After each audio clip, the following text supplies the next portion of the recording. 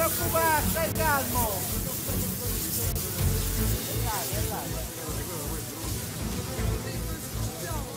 Vabbè che cazzo fai?